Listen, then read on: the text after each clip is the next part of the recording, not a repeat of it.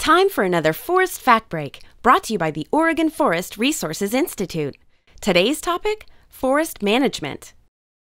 Oregon forests come in all shapes and sizes, large and small, young and old.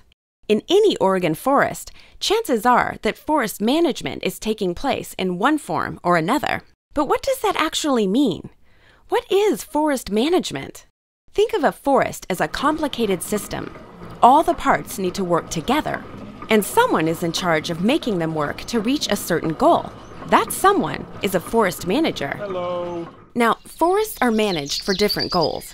Some are managed for wood products, others for wildlife habitat, and some have a mix of goals. Forest managers figure out what needs to happen to reach those goals. Could be planting and growing trees, could be thinning or harvesting trees, could be altering the habitat to favor one species over another.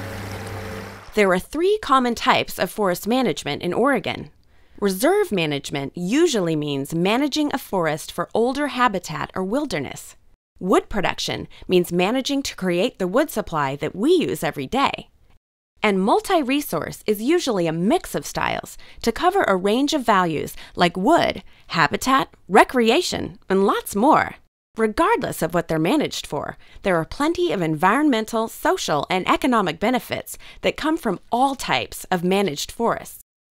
Forest management ensures that our forests stay healthy, productive, and sustainable for a long, long time. And that's the story on forest management. Check out more forest fact breaks or visit OregonForest.org. Yay, forests!